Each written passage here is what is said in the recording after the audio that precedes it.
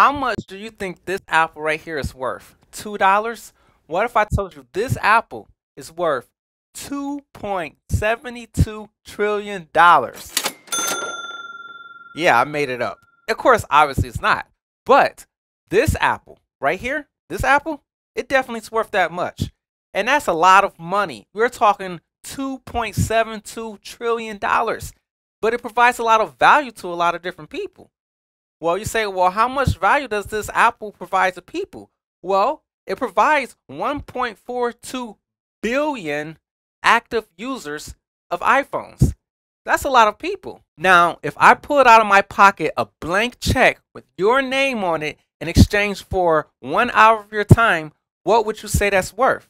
Would you say it's worth $10, 15, 25, 30, a billion dollars? How much would you say that your time is worth? What's the special number? Then my next question is, well, what's your justification for saying that you're worth this much? Now, to figure this out, we first have to realize that price is what you pay for something and value is what you receive. When an applicant sits down with a potential employer, the employer is trying to gauge how much value can I receive if from paying this person. And so they're going to do their due diligence. They're going to go and look at the person's qualifications and see where they went to school, seeing all these different things, the jobs that they worked at previously. They're going to check the person's references and talk to some people and see if they really checked out and how is their character.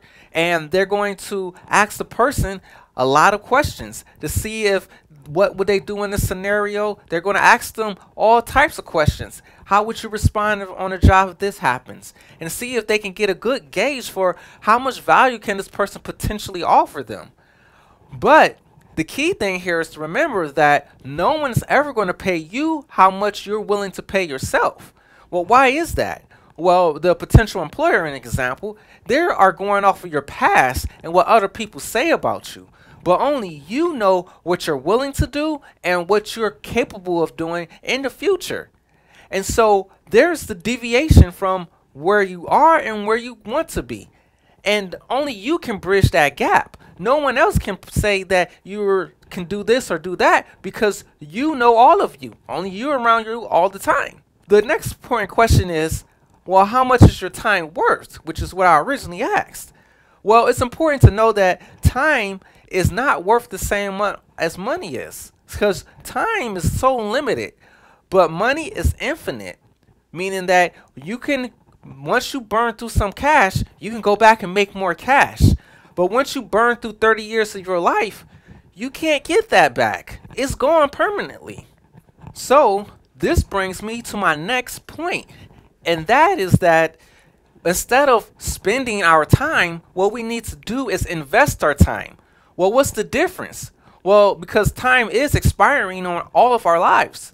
But the difference is this it's not about the quantity, but it's about the quality. And what I mean is, instead of spending your time doing a lot of different things, you need to invest your time into doing a lot of different things. Because investing is focused on a future, and spending is focused on consuming, and that's focusing on the past. So when you focus more on the future, whether it's trying to leave generational wealth or trying to do things that otherwise people before you weren't able to do, then that carries a big role in what you're able to do. And when you understand how much your time is really worth, then what you do is you begin to try to figure out ways to buy back your time. Because you can buy back your time. When you sit and you have someone else cook a meal for you, and you're not having to prepare that meal, well, that's you just bought back some of your time. And so your time is very important. And few of us realize how much time we actually have. So when you invest in yourself, you actually are paying yourself first. That may sound like a selfish thing to do, but it's not selfish because, like I said before, what you pay is what you give, but what you receive is value if you're paying yourself by investing your time, then what you're going to receive on the back end is a lot of value. And the value you're going to receive is going to outweigh the amount of money that you pay for it. See, a lot of people don't realize that they may see a celebrity on TV and they say, oh, they're worth this amount of money.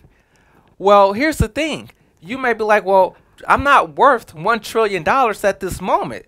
Well, that's what everyone says on the outside, but only you know what's going on in the inside of you.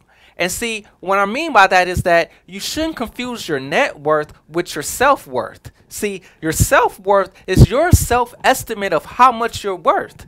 And when you have a low self worth, that means you're going to settle for less and you're going to have low self esteem because that's what we're talking about. Esteem is estimate. So, what is your estimate of yourself? And when you have high self esteem and when you have a high estimate of yourself, then that means you're going to operate at a higher level. You're not going to be limited by how much money you can't be bought because you're yielding to a set of principles. And those principles and morals are a reflection of how you see yourself because you won't bend to doing certain things because you know who you are and you know what you're worth.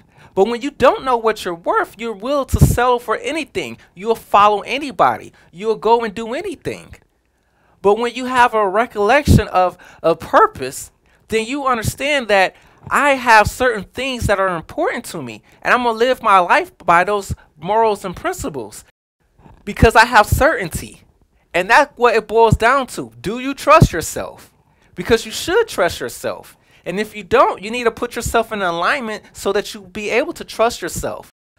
Because you will make mistakes, but it's a trust in yourself and knowing how much you're really worth.